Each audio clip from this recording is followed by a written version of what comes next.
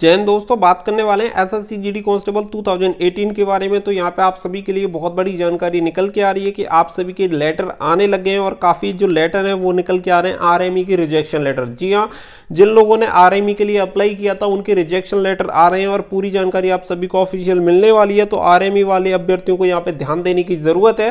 पूरी जानकारी आप सभी को यहाँ पे मिलने वाली है। उससे पहले आप सभी से रिक्वेस्ट करना चाहूँगा कि अगर आपने अब तक हमारे चैनल को सब्सक्राइब नहीं किया तो फटाफट से चैनल को सब्सक्राइब कर लें। साथ में बेलाइकन को प्रेस कर लें ताकि आने वाली हर एक जानकारी आपको सबसे पहले मिलती रहे। तो चलिए चलते हैं टॉपिक की तरफ़। यहाँ पे बात कर लेते हैं कि यहाँ पे काफ़ी लोगों के लेटर आ रहे हैं सभी के पास। तो आखिर वो लेटर किस चीज़ के आ रहे हैं और आरएमई में रिजेक्ट क्यों किया जा रहा है? बिना आरएमई में बुला ही रिजेक्ट कर दिया। तो उसका रीज़न क्या है? उससे कैसे बचा जा सकता है? या अभी आगे हम क्या कर सकते हैं?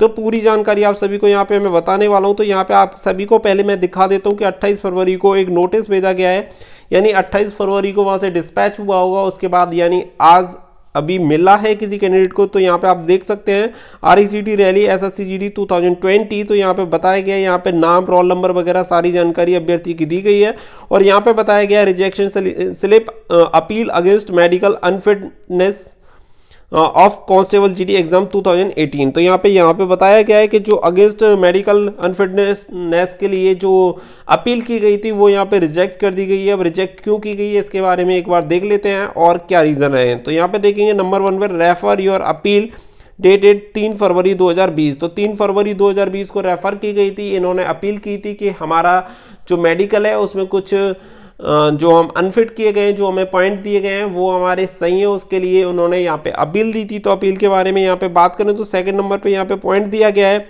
It is intimated that your appeal for review medical examination against medical unfitness has been rejected due to following reason तो यहाँ पे बताया गया है कि किन कारणों से जो आपकी अपील है, उसे रिजेक्ट कर दिया गया। तो यहाँ पे देखेंगे नंबर ए पे लिखा हुआ है cause of rejection number two during DME has been confirm by the concerned specialist as certified in form number three तो अब देखिए, मैं आप सभी को बता दूँ, जब आपका डीएमई हुआ था, यानी जब आपका मेडिकल करवाया गया था तो मेडिकल के टाइम आप सभी को कुछ ना कुछ पॉइंट दिया गया था, जब ये आपको रीमेडिकल मिला था।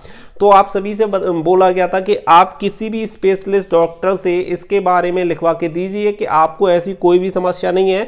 आपको किसी भी गवर्नमेंट डॉक्टर से ये लिखवा के देना था और वहाँ पे भेजना था। बसरते वो उस डिपार्टमेंट का यानी उस चीज़ के बारे में, उस रोग के बारे में वो विशेषज्ञ होना चाहिए, उसी डॉक्टर से आपको लिखवाना था। अभी यहाँ पे हम बात करें तो ऐसे बहुत सारे अभ्यर्थी हैं, उन्होंने क्या किया है कि डॉक्टर के पास गए, वहाँ पे कंसल्ट किया और उन्होंने कहा कि मतलब उन्होंने कुछ खास बात ही नहीं की, उन्होंने जो लिख के दिया, वो उन्होंने वहाँ पे भेज दिया। तो यहाँ पे क्लियर लिखा हुआ है कि जो आपको कॉज दिया गया था नंबर टू ड्यूरिंग डीएमई यानी डीएमई के दौरान has been confirm by concern तो यानी जो संबंधित स्पेशलिस्ट है, उसने कंफर्म कर दिया है कि आपको उसकी प्रॉब्लम है, इसलिए आपकी जो अपील है, उसे कैंसिल किया जाता है। अब देखिए, यहाँ पे बात कर लेते हैं। कि ऐसा किन किन लोगों के साथ हो सकता है और इसका क्या अल्टरनेट ऑप्शन हो सकता है। तो देखिए, मैं आप सभी को बता दूँ, बहुत सारे लोग ये भी जानना चाहते हैं कि डीएमई e कब से सॉरी आरएमई कब से होगा, यानी री मेडिकल एग्जामिनेशन कब से होगा। उसके बारे में मैंने ऑलरेडी आप सभी को वीडियो बना के बता दिया था, फिर भी बहुत सारे लोगों को फेक लगा तो उसका तो कोई नहीं। लेकिन मैं आप सभी को एक और प्रूफ दे दूँगा कि जो डेट मैंने बताई गई थी और मेरे द्वारा वो जो तारीख आपको दी गई थी, वो कितनी सही है। इसी के साथ चलिए, पहले एक ज़रूरी जानकारी आप जान लीजिए, उसके बाद इसके बारे में बात अगर आप इस भर्ती से जुड़ी और अधिक जानकारी पाना चाहते हैं तो अपने गूगल में जाएँ और वहाँ पे सर्च करें W W W dot study for dreams dot in और सर्च बटन को क्लिक करें। सर्च बटन को क्लिक करने के बाद आपके सामने एक लिंक आएगी। सबसे ऊपर वाली लिंक पर क्लिक करना है। उसके बाद आपके सामने एक वेबसाइट ओपन होके आएगी। जैसा कि आप देख सकते हैं यहाँ पे आपको सभी सरकारी विभागों की जानकारी मिल जाएगी। लेकिन अगर आप किसी भी पर्टिकुलर एक विभाग की जानकारी चाहते हैं तो सर्च बटन दी गई है। सर्च बटन पर क्लिक करें और सर्च बटन पर क्लिक करने के बाद जिसके बारे में आप जानकारी चाहते हैं, जैसे एस एस के बारे में हम यहाँ पे सर्च कर लेते हैं। तो एस एस आपको टाइप करना और एस एस टाइप करने के बाद आपको साइड बटन में जो सर्च बटन है, उसे क्लिक कर दें। क्लिक करने के बाद एस एस से जुड़ी हर एक जानकारी आप सभी को मिल जाएगी। तो यहाँ पर अगर आप और कोई जानकारी पाना चाहते हैं, जो आपको सबसे पहले मिलती रहे, उसके लिए साइड में एक बेल बटन दी गई है। उस बेल आइकन को क्लिक करें ताकि हर एक जानकारी आपको सबसे पहले मिल जाए।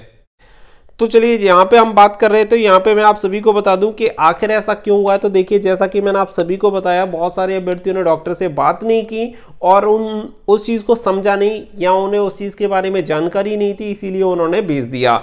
अभी जब आप अपना कोई भी अपील वाला लेटर वहाँ पे भेजेंगे तो वो बारीकी से उस चीज़ को चेक करते हैं कि बिल्कुल सही तरीके से है या नहीं। अगर आपने गलत फॉर्मेट या किसी भी तरीके से, अगर गलत तरीके से अगर आपने अपील करने की कोशिश की और वहाँ पर वो लेटर भेजा है तो वो वहाँ पर कैंसिल कर देंगे। अब देखिए, अगर आपके सारे पॉइंट ठीक हैं, अगर आपने सरकारी हॉस्पिटल से उसे लिखवा के भेजा है और डॉक्टर ने क्लियर लिख दिया है कि जो पॉइंट आपने दिया है जैसे कि मान के चल लेते हैं कि अगर मान के चल लेते हैं किसी को भी कोई भी कान का छेद बताया है कि मान लीजिए कि कान में आपकी कुछ प्रॉब्लम है। लेकिन अगर आप ईयर स्पेशलिस्ट के पास यानी ईएनटी स्पेशलिस्ट के पास जाते हैं और वहाँ पे अपना चेकअप वगैरह करवाते हैं और वहाँ के बाद जो डॉक्टर है आपका गवर्नमेंट डॉक्टर वो सर्टिफाइड करके दे देता है कि आपको ऐसी भी किसी भी बीमारी से आप ग्रसित नहीं है, यानी ऐसी कोई भी आपको दिक्कत नहीं है। तो उसके लिए आप एकदम परफेक्ट हैं, यानी आपका जो आर e का एडमिट कार्ड होगा वो आ जाएगा। लेकिन इसी कंडीशन में अगर आपने डॉक्टर से लिखवाया होगा, अगर उसने प्रॉपर तरीके से नहीं लिखा होगा तो आपके सामने समस्या हो सकती है, क्योंकि यहाँ पे क्लियर लिखा हुआ है कंसर्न स्पेशलिस्ट तो यहाँ पे जो सर्टिफिकेट लगाया गया था, वो सर्टिफिकेट गलत था, यानी गलत का मतलब है उसमें क्लियर लिख दिया गया था कि ये जो प्रॉब्लम बताई गई है, वो अभ्यर्थी में पाई जाती है। अगर उसके बाद भी अगर आप अपील कर रहे हैं तो आप एक्सपेक्ट ना करें कि आपका जो एडमिट कार्ड होगा, आपका आएगा। बिल्कुल भी आपका एडमिट कार्ड आने वाला नहीं है रिजेक्ट कर दिया जाएगा। इस बात को ध्यान रखिएगा, इसका बहुत बड़ा बेनिफिट उन अभ्यर्थियों को मिलेगा जो डीएमई में ग्राउंड फिट हो चुके हैं। अगर आपने इस चीज़ में कोई सावधानी नहीं बरती है तो इसका क्या ऑप्शन हो सकता है, वो मैं आप सभी को बता दूँ। तो देखिए, आप सभी को बता दूँ कि डीएमई होने के बाद आरएमई आपके पास वन एंड लास्ट ऑप्शन बचता है। यानी एक अकेला अंतिम ऑप्शन है जिसे आप यूज़ कर कर सकते हैं। और आरएमई का जो ऑप्शन है, फ़िलहाल अभी आपने उसे यूज़ कर लिया है। आरएमई में अगर आप रिजेक्ट हो जाते हैं, अगर आपको रिजेक्शन आ जाता है तो आप उसके खिलाफ कोई भी अपील या किसी भी तरीके से कोई भी कार्रवाई नहीं कर सकते। तो इस चीज़ को ध्यान में रखिएगा, अगर आपने कोई भी एक छोटी सी भी गलती की है तो आपको यहाँ पर रिजेक्शन मिल सकता है, जिसके बाद आप कहीं पर भी जाके कोई भी अपील या कुछ भी इसके खिलाफ नहीं कर पाएँगे। यानी क्लियर तौर पे आपको इसमें असफल माना जाएगा और घोषित कर दिया जाएगा कि आप बिल्कुल फेल हैं, आप अयोग्य इसके माने जाएँगे और मेडिकल में आपको फेल कर दिया जाएगा। तो ये चीज़ यहाँ पे क्लियर हो जाती है। उम्मीद करता हूँ कि जिन लोगों के कोई भी डाउट बन रहे होंगे कि कौन बाहर हो सकता है, कौन नहीं तो इस चीज़ को ध्यान में रखिएगा, अगर आपने सही भेजा है, डॉक्टर ने सही लिख के भेजा था तो डेफिनेटली आप पास हो जाएँगे। मैंने जैसे कि अभी आपको बताया W W study for dreams dot in पर जाके ज़रूर विज़िट करिएगा। वहाँ पर मैंने आप सभी को बहुत ज़रूरी जानकारी दी है, जो कि आप सभी को जान लेनी चाहिए। अगर वहाँ पर कोई भी अगर आपको दिक्कत हो तो वहाँ पर आप मुझे कमेंट करके बताइएगा। वहाँ पर सभी, जितने बार कमेंट होंगे, सभी के रिप्लाई आप सभी को मिल जाएँगे। तो फिर दोबारा से बता रहा हूँ W W W dot study for dreams dot in Google में जाइएगा, सर्च कर लेना आप सभी को सबसे ऊपर मिल जाएगा। वहाँ पे जाके एस सी कांस्टेबल की अगर कोई जानकारी होती है तो सबसे पहले वहाँ पे आप सभी को मिलती रहती है। तो यहाँ पे आप देख सकते हैं कि जो सील एंड सिग्नेचर है and the MO for appellant authority और उनकी यहाँ पे वो मोर वगैरह हैं, वो सारी जानकारी लगी हुई है। यानी एकदम ऑफिशियल नोटिस है। कोई भी किसी प्रकार की आपको ऐसी अगर फिर भी डाउट है तो आप मुझे कमेंट करके पूछ सकते हैं। Telegram group study for dreams के नाम से और Instagram group study for dreams one के नाम से आप मुझे फॉलो कर सकते हैं। वहाँ पर मैसेज करके कोई भी अगर आपकी पर्सनल प्रॉब्लम है तो आप पूछ सकते हैं। अगर आपका भी पास अगर ऐसी कोई रिजेक्शन स्लिप आई है या अगर आपके पास कोई भी ऐसा लेटर वगैरह है तो प्लीज़ हमें कमेंट करके ज़रूर बताएँ और कोशिश करेंगे कि आपकी जो प्रॉब्लम हो, उसका कोई सॉल्यूशन ढूंढ निकालें। तो दोस्तों, फ़िलहाल के लिए इस वीडियो में बस इतना ही। मिलते हैं अगली वीडियो में अच्छी सी इन्फॉर्मेशन के साथ। So thank you for watching जय हिंद जय भारत।